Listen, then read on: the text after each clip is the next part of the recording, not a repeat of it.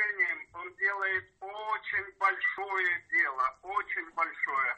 Не только для того, чтобы освободить народ Украины от, от этих подлых нацистов, а он еще делает большое дело по объединению русского мира, славянского единства. Он делает очень большое дело,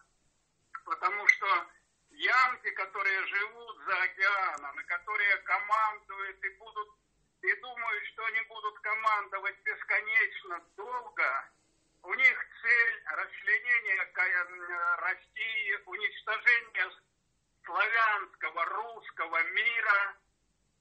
Чем мы им так насолили, совершенно непонятно.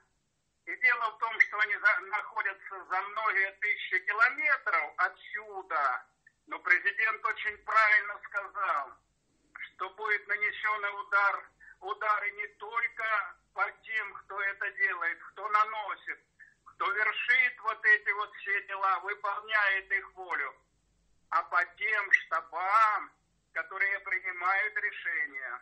И они притихли, конечно, но американцам надо уже давно смириться с тем, что однополярный мир продолжаться не может что мир должен быть многополярным, что надо учитывать чаяние всех людей, всех народов. Я полностью поддерживаю решение нашего президента полностью.